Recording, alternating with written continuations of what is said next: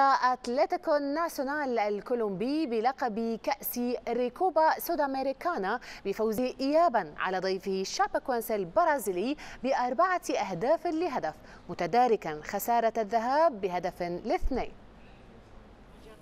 صوب هذه المدينة تحديدا وقعت الكارثة وسجل التاريخ مأساة حين سقطت طائرة تقل لاعبي فريق تشابيكوينسي فارق عدد كبير منهم الحياة غير أن الفريق أسس بنيانه من جديد واقترب من لقب ريكوبا سوداميريكانا إلا أن أتلتيكو ناسيونال حامل لقب كوبا ليبرتادوريس عاد من بعيد وتوج باللقب. الفريق الكولومبي لم يمهل شابيكوينسي سوى دقيقتين ليفتتح النتيجة بتصويبة قوية من لاعبه دايرو مورينو.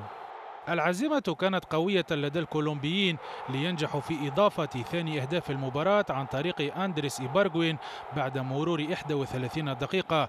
وقبل ثوان عن نهاية الشوط الأول كاد شابكوينسي يقلص الفارق غير أن القائد أليكسيس أبعد الكرة عند خط المرمى.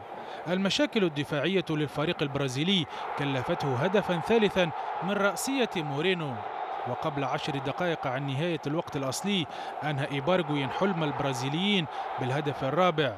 تشابيكوينسي لم يقبل الخروج من اللقاء إلا مسجلا وتمكن من ذلك عن طريق توليو في الدقيقة الثالثة والثمانين وبذلك نجح الناسيونال في قلب تأخر الذهاب واقتلع اللقب